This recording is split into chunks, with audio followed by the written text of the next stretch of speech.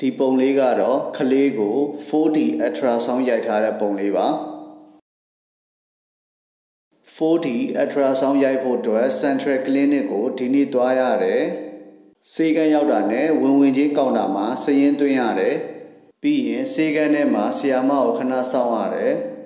ကိုလည်းရောက်ပြီဖြစ်တဲ့အတွက်မပိုက်ကတော့ 4D ultrasound ရိုက်ဖို့အတွက်အခန်းထဲကိုဝင်သွားပါပြီ 4D ultrasound ရိုက်လို့ရှိရင်ရိုးရိုး ultrasound ရိုက်တယ်လို့မျိုးစီးတင်းအောင်ရေတောက်ထားကြမလို့ပါဘူး 4D မရိုက်ခင်ဘိုက်ကိုဂျယ်လေးလိမ့်ပေးထားတယ်ပြီးလို့ရှိရင်ဆီယာမကခလေးကိုတေချာစစ်ဆေးပေးတယ်ခုကြားနေရတဲ့အတန်ကခလေးရဲ့နှလုံးခုန်တန်ပါ ဆီယာမကခလေးအတွက်တေချာစွာစစ်ဆေးပေးလို့နိုင်ဝက်လောက်တော့ကြာပါတယ်ပြီးလို့ရှိရင်အခန်းပြင်မှာခဏဆောင်ပြီးတော့ငွေရှင်းကောင်တာမှာငွေရှင်းရပါတယ်